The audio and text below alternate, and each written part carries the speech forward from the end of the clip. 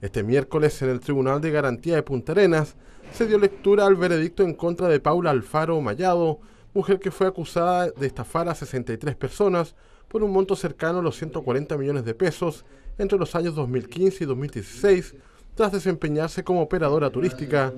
Alfaro fue finalmente condenada por cuatro delitos. El tribunal, después de haber escuchado todos los antecedentes con los que contaba el Ministerio Público, pronunció un veredicto condenatorio en contra de doña Paula Alfaro por los delitos de estafa reiterada, abuso de firma en blanco, uso fraudulento de tarjeta de crédito y apropiación indebida. En ese sentido estamos sumamente satisfechos con el resultado, toda vez que eh, bueno, logramos que ella compareciera primero a los tribunales chilenos para, hacer, para enfrentar a la justicia y a raíz de eso mismo es que ella procede entonces al pago de millonarias sumas con las que se reparó a la mayoría de estas víctimas. Explicó el fiscal que la operadora turística por el tipo de pena podría cumplir la sentencia en el medio libre, para lo cual también en esta audiencia una de sus medidas cautelares fue modificada. Ella tenía arraigo nacional como medida cautelar, además tenía un arresto domiciliario total que estuvimos de acuerdo en cambiar por un arresto nocturno debido a que la pena que ella arriesga, que es de tres años de privación de libertad, lo más probable es que pueda cumplir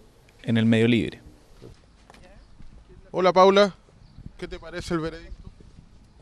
¿Algunas palabras para la prensa?